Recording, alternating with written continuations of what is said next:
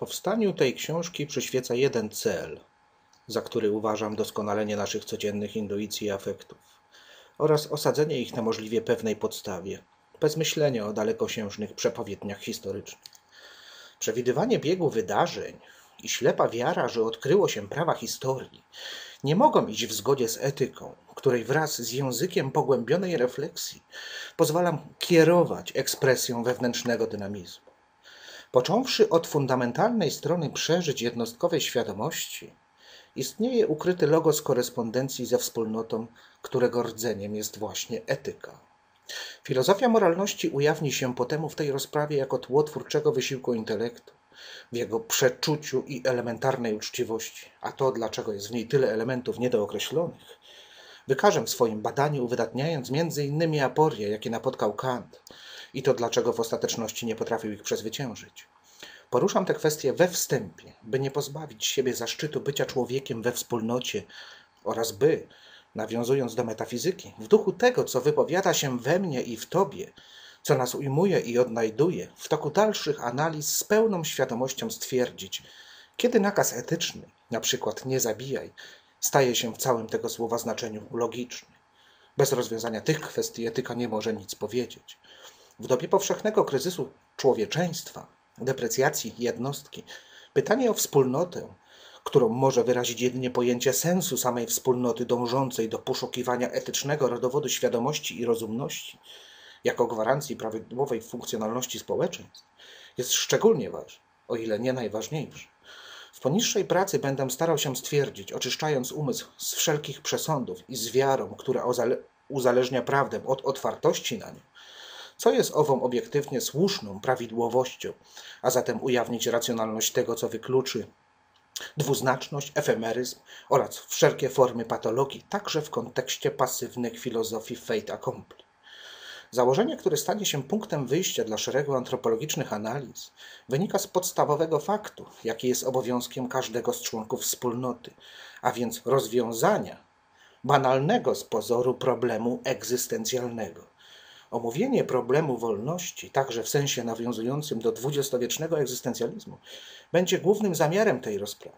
Przy czym określenie tego specyficznego dla każdej jednostki rysu człowieczeństwa który jest wspólny i zarazem zamknięty sam w sobie, odbędzie się poprzez skodyfikowanie czynników będących predykatywnymi danymi świadomości, a więc obowiązującymi wszystkich członków organizacji w obszarze pierwotnych doświadczeń jaźniowych.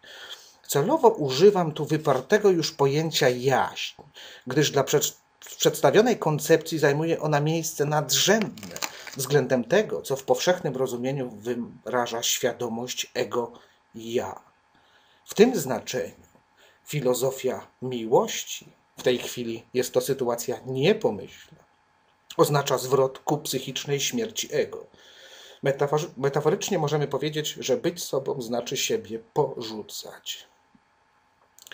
Za kluczowe zagadnienia, które poruszę w tej książce, oprócz wspomnianego już problemu wolności, uważam pojęcie śmierci, które po zapoznaniu się z literaturą przedmiotu uzasadnię w sposób mogący budzić pewne sprzeczności. Następnie, obciążone pejoratywną konotacją i wciąż nierozwiązane w obecnie funkcjonujących społecznościach problemy Boga, milczenia i samotności. Pojęcia te są ze sobą ściśle skorelowane a można nawet powiedzieć, że nieustannie pozostają w centrum aktów realizowania się jednego przeżycia względem drugiego, o których zamierzam tu mówić językiem głębokiej symboliki i analizy.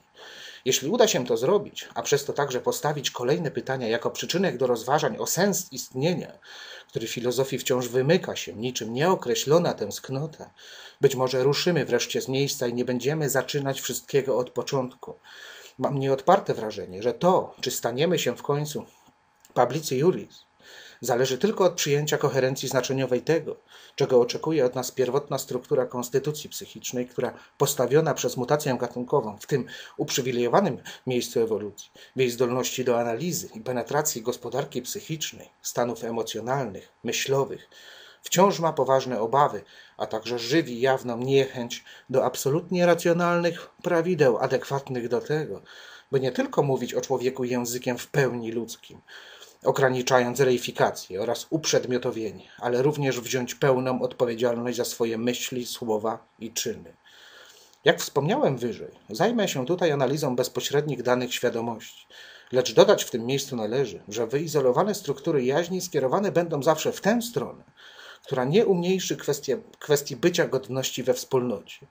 Odpowiedź na pytanie, czy ogólnie pojęte dobro powszechne może być jednocześnie przedmiotem sensu stricto prywatnej troski każdego członka organizacji, którą ujmuję tutaj za myślą Goethego, że ponad narodami jest ludzkość, nie może się odbyć bez metafizyki i w mniejszym stopniu psychologii, albowiem problem wolności jest zasadniczo wspólnym problemem owych dziedzin. Należy więc w obszarze badań ująć także te kwestie, a właściwie zapytać, kiedy doświadczenia siebie samego są najbardziej własne oraz wspólne i korzystne dla kształtowania form świata zewnętrznego. Słusznie pisała profesor Barbara Skarga. To raczej w nauce można wykryć założenia metafizyczne, które w niczym nie przeszkadzają w jej rozwoju i na które zwykle bywa obojętna lub w ogóle ich nie dostrzega. Rozprawę tę uznaję zatem także w pewnym sensie za subiektywne wprawki z etyki, doskonalenia siebie, a wobec tego, co staram się egzemplifikować w książkowej wypowiedzi, ulega odsłonięciu to, co powinno zostać zakryte lub zapomniane, ponieważ sama trafność ujęcia deskrypcji sobości wynika właśnie z jej milczenia względem odkrycia i rzeczywistej analizy technicznej. Dobro, jak będę argumentował, nie tylko nie jest zobligowane do tłumaczenia tego, dlaczego jest dobre, lecz powinno się tego wystrzegać, gdyż nim samym może być jedynie aksjologiczne usensownienie rzeczywistości, jak mawiał Stróżewski w procesie socjalizacji. Eoipsu, rezygnując z dominacji i autorytaryzmu, obroniony jest status tego, co będąc czynnikiem samotranscendującym, milczy lub, jak mawiał Cezanne, konsultuje się z ideą, a psychika rozwiązuje tym samym dylemat niezrealizowanej wartości. Otwarcie stwierdzam tu wiele niedogodności, jednak nie można także nie podkreślić swoistej siły atrakcyjności takiego badania, które pozwoli czytelnikom sformułować własny osąd. Na to w istocie liczę. Przedstawionej pracy problematyka, której metodologia rozciąga się na szereg dziedzin i obszarów ludzkiego doświadczenia, w żadnym stopniu nie będzie dotyczyć gospodarki, ekonomii czy nawet polityki, ponieważ to, o czym pragnę powiedzieć, byłoby dopiero rzekomym argumentem przygotowującym samych zainteresowanych do wyboru wolności, owego ja społecznego, w jednej z powyższych dyscyplin. Nie będzie moim zamiarem także przyjmowanie na siebie roli proroka, bezbłędnie percypującego egzystencjalne złudzenie. Moja wypowiedź nie stawia sobie takich wymagań, Aspiruje raczej do świadomego uznania swoich granic. Nie sądzę tak, żeby pretendowała do naukowości tam, gdzie objawia własny punkt widzenia. Najważniejsze będzie dla, dla mnie przedstawienie okoliczności, w jakich warunkach psychicznych funkcjonuje dialektyka we wspólnocie, owa gotowość do otwartości na zapłodnienie intelektualne i etyczne. W tym znaczeniu gotowość do uśmiercenia arbitralnego egoizmu, inaczej niż słynne Seinzun Todd Heideggera. Istnienie ludzkie nie jest istnieniem w stronę śmierci, lecz śmiercią wnikającą w nas, jak będę argumentował na kartach tej książki w tonie sprzeciwu względem każdej formy konsekracji, a przy tym racjonalizacji status quo, a także zaprzeczenia dla uznania sił oraz tendencji, które mogłyby uzyskać lub uzyskały przewagę. W centrum mojej uwagi, w zgodzie z wymiarem ludzkiej wolności, podejmuję tutaj, nie zawsze bezpośrednią, polemikę z Kartezjuszem, Heglem, Kantem oraz wspomnianym Heideggerem, Skargą i Tischnerem, a także z Platonem i Arystotelesem. Mam nadzieję, że moje wywody nie zostaną uznane za twierdzenia bezpodstawne, lecz, na co w istocie liczę, wybronią się przed zastrzeżeniami o tyle, o ile udział etyki w aspekcie kształtowania zdolności samourzeczywistnienia jednostki we wspólnocie będzie przez czytelnika wzięty pod uwagę. Śmierć i Bóg we wspólnocie. Wprowadzenie do koncepcji.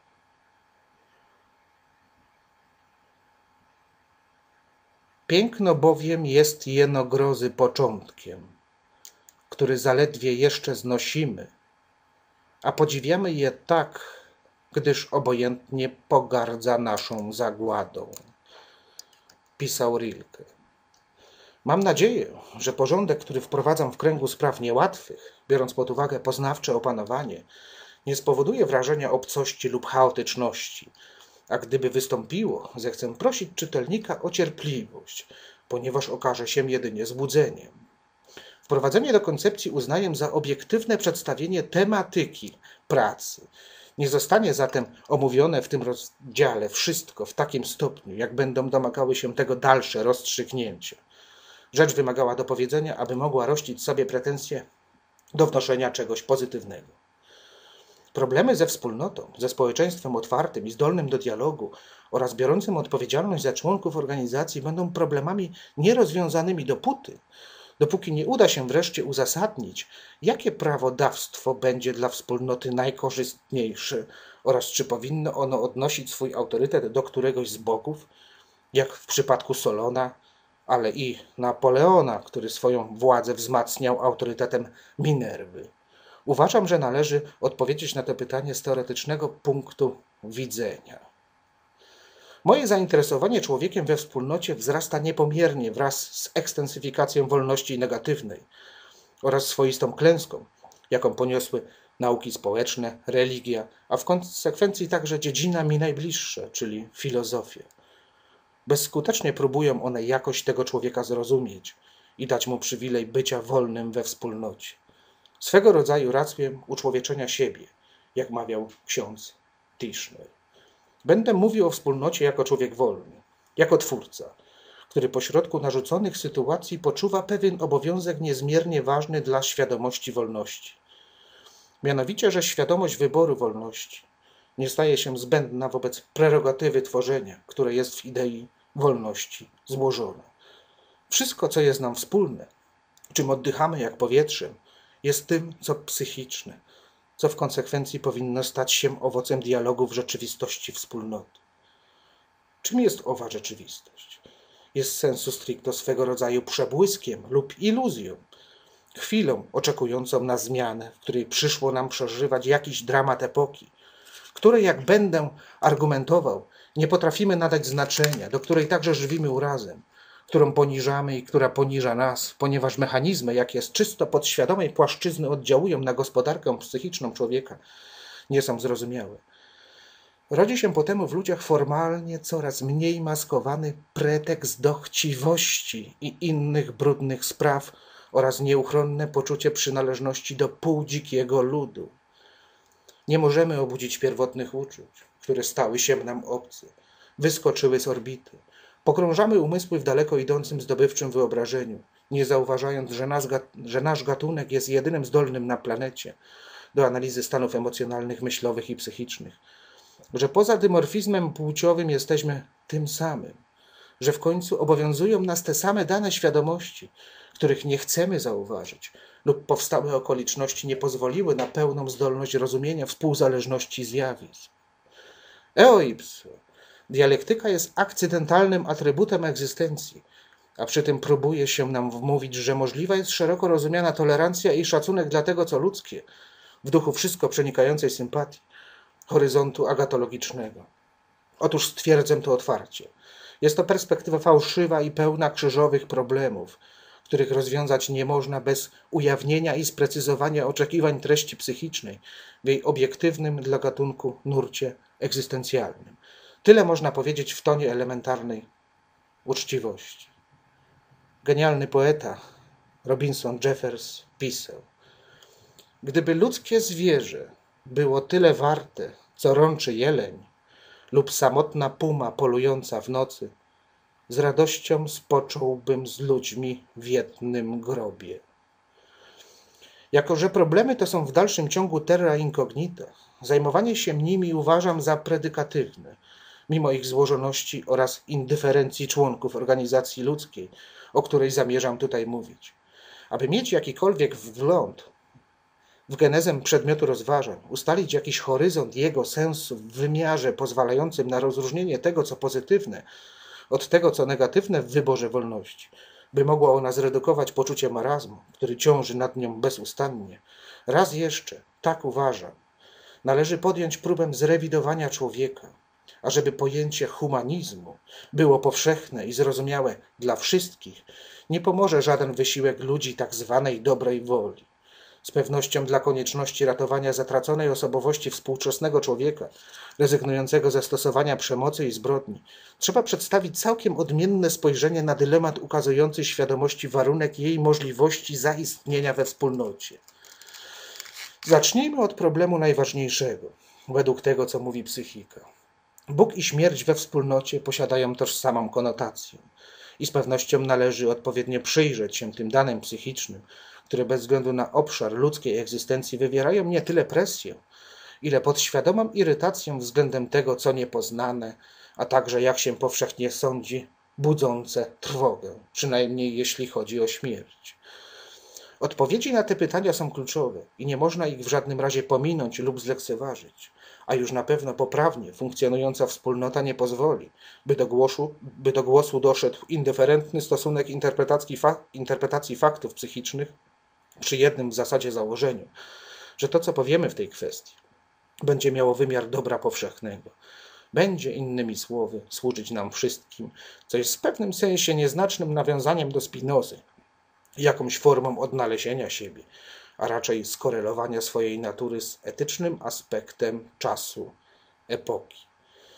Jeśli chodzi o to, co rozumiem przez pojęcie Bóg, nie mam rzecz jasna na myśli niczego innego jak tylko istoty, czy może perspektywy czcigodnego pojęcia wolności, a jeszcze inaczej, takiego jej subiektywnego uzasadnienia, by dać względem tego, co będę tutaj mówił, jakieś świadectwo tej wolności, zaświadczyć jej jakoś poprzez rezygnację z heteronomicznej siły, z tendencji owych radykalizujących sił na tle grupy społecznej, z którą ta wolność pozostaje w rzeczywistym dialogu.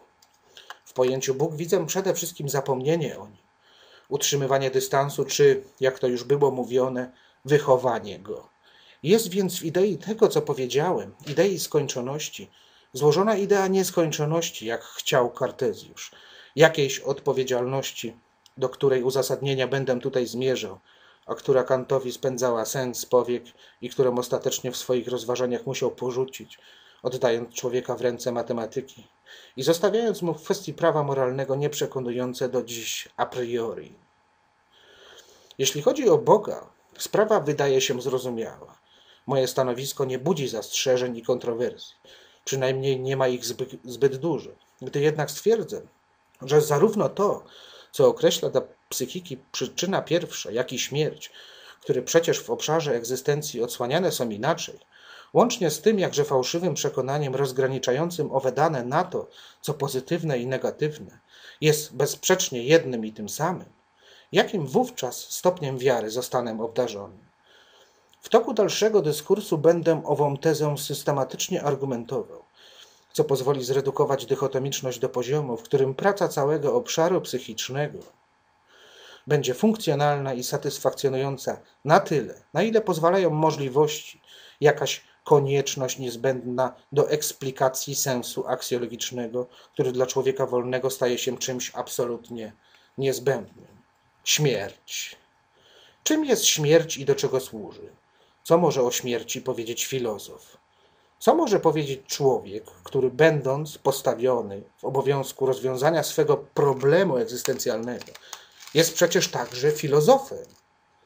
Czyż nie powiada się dziś, że życie, którego nieodłącznym elementem jest śmierć, to rezultat filozofowania?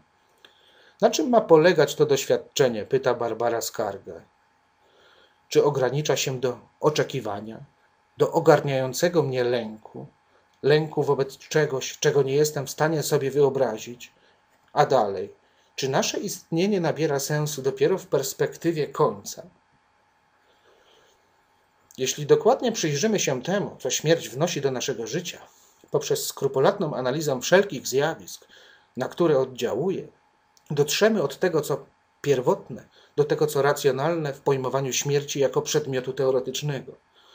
Jestem przekonany, że państwa intuicja pozwoli wyczuć subtelne granice między śmiercią psychiczną a biologiczną. I jak się później okaże, biologia dostarczy nam szczególnie ważnego materiału do naszych analiz. Wspomniałem wyżej, że życie jest tylko iluzją, jest złudzeniem, które przechodzi w kolejną jakość, co zresztą nie jest jakimś znaczącym odkryciem.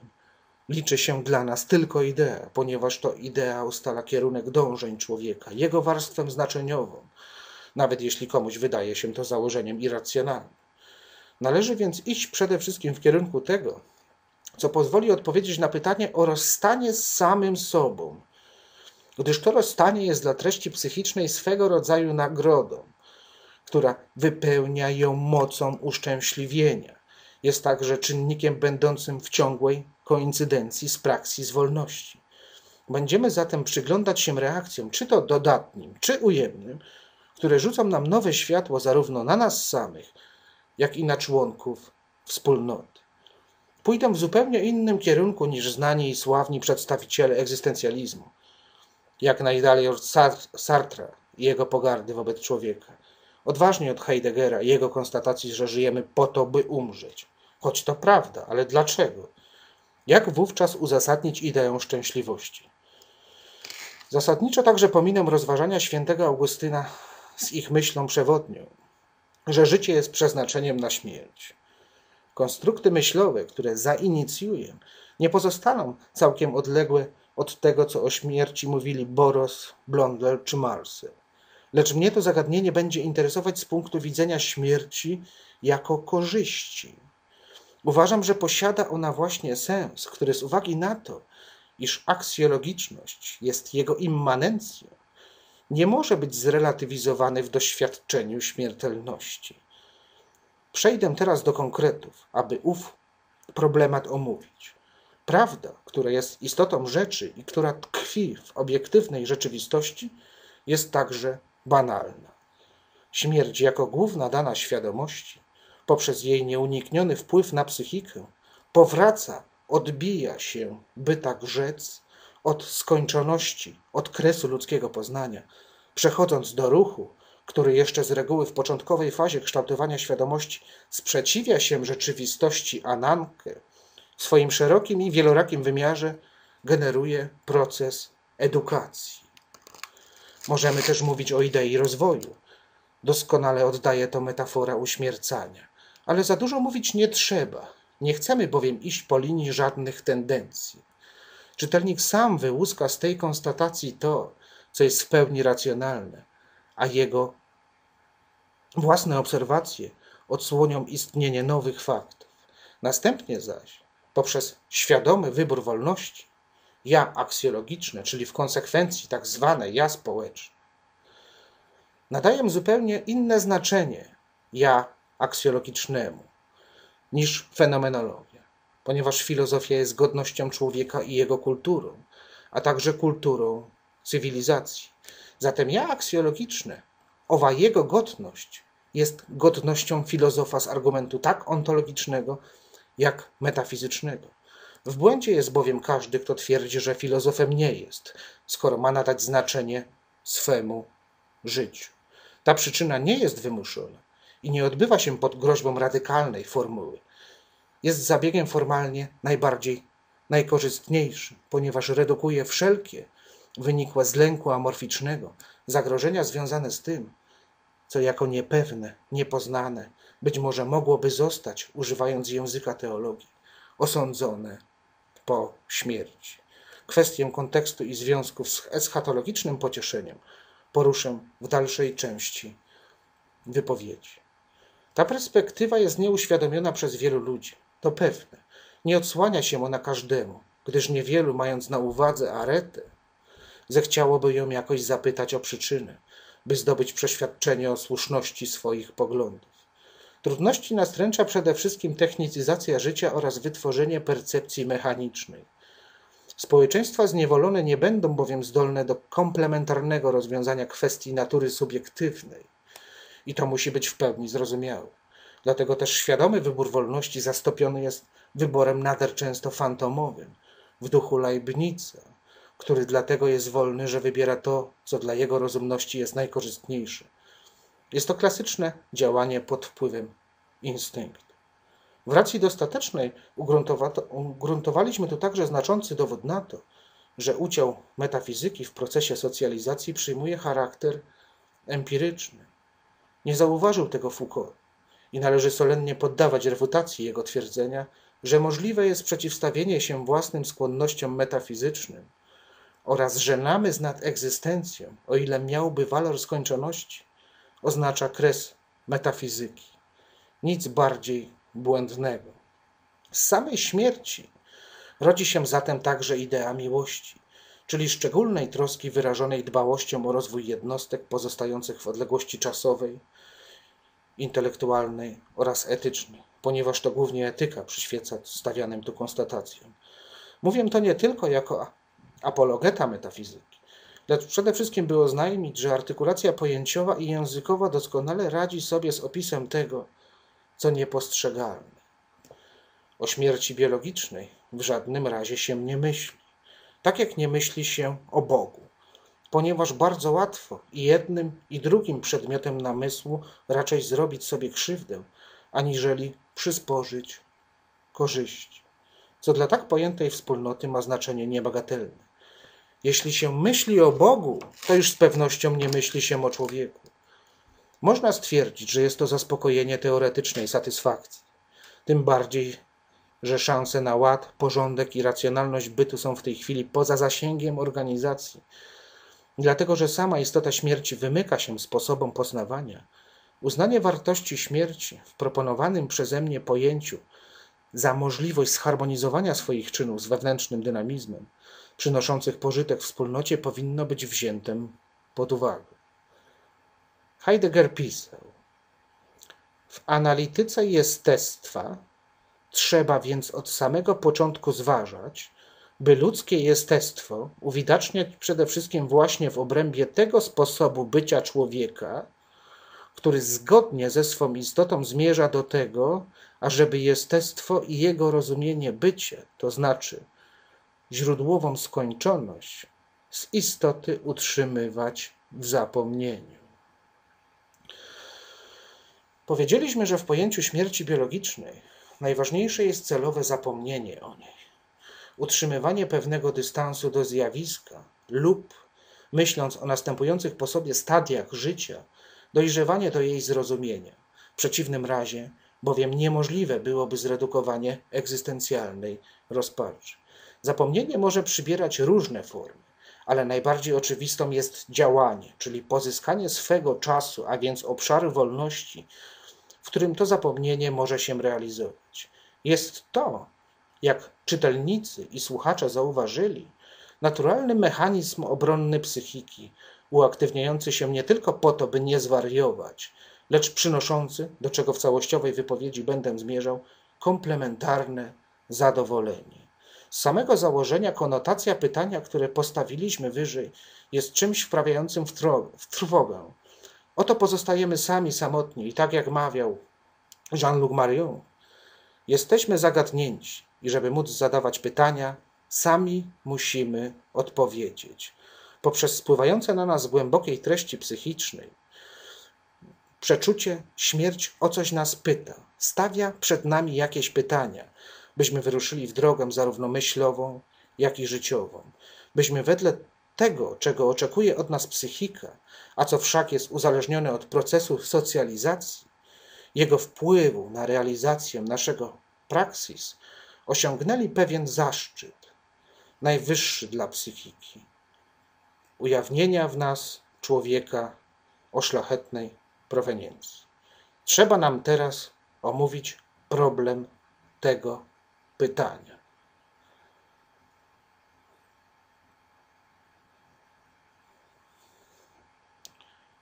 Ciąg dalszy, Szanowni Państwo, nastąpi w kolejnym odcinku, na który już teraz serdecznie Państwa zapraszam. Dziękuję za uwagę. E, e, polecam także zajrzenie na mojego bloga, zapoznanie się z moją twórczością.